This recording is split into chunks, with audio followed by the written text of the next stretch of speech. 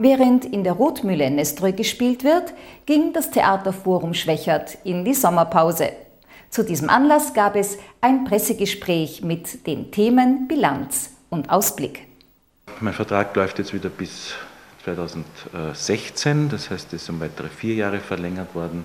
Ich finde, das ist auch eine gute Periode, wo man wieder etwas entwickeln kann und wo man auch dann immer wieder nachprüfen kann, passt das noch, äh, passt die Zusammenarbeit wird der Intendant müde, hat er keine Ideen mehr. Also auch das äh, stelle ich natürlich immer wieder auch zur Debatte.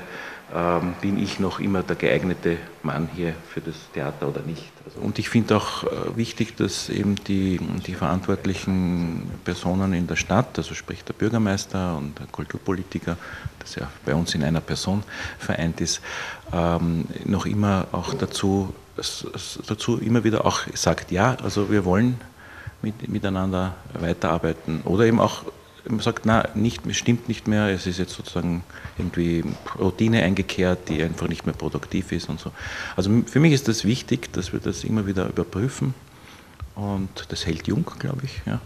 und, äh, und hält aber auch sozusagen die, die, die Dynamik des Theaters äh, wach. Was bietet die nächste Saison? Ja, die nächste Saison bietet einiges Neues. Ähm, wir haben ähm, eine Premiere am 20. September, äh, Der Furchtsame von Philipp Hafner. Das ist eine Altwiener Volkskomödie, die wir sozusagen ein bisschen wiederentdecken. Ich meine, sie wurde schon zwischenzeitlich immer wieder gespielt, aber eher selten. Philipp Hafner ist ein interessanter Volksstück Autor oder Volkskomödienautor. Und in der Hauptrolle haben wir Stefan Barilla-Raki, ähm, mit dem ich mich also schon viele Jahre immer wieder treffe und wir über Projekte sprechen und diesmal klappt es einfach. Ja, wir freuen uns beide darüber. Ja, eine größere Premiere im Frühling äh, steht eben an. Das ist Humeberry das Stück stammt aus der Feder von Ronald Rudol. Wir haben mit Ronald Rudol einen interessanten österreichischen Autor ähm, gewonnen, der das Stück Humeberry geschrieben hat, das jetzt bei uns jetzt nicht uraufgeführt wird, aber äh, einfach, ich glaube, es ist die dritte Inszenierung dieses Stücks, die wir hier machen werden. Eine sehr reizvolle Komödie. Er nennt es eine genmanipulierte Liebeskomödie. Ähm, die ähm, ja, von, einer, von, einem, von, einer, von einem genetischen Experiment handelt, wo, eine Pflanz, wo Pflanzengene mit menschlichen Genen gekreuzt werden. Daraus entsteht ein junger Mann, der normal, ganz normal aussieht, der in seinem Wesen in erster Linie wie ein Mensch ist und auch die Züge von einem Lebewesen hat, das er leben möchte, das er lieben möchte, dass er eine Zukunft sehen will, aber diese Zukunft darf nicht sein. Und so wird er eines Tages natürlich nicht sein dürfen. Es entsteht eine äh, Liebesgeschichte und äh, die nicht sein darf. Und die geht natürlich, sie wird immer äh, verrückter, also man kommt drauf im Labor, der ist geflüchtet, jetzt kann man nicht sagen, ein, äh, ein Mutant läuft draußen herum, sondern man sagt ein Triebtäter.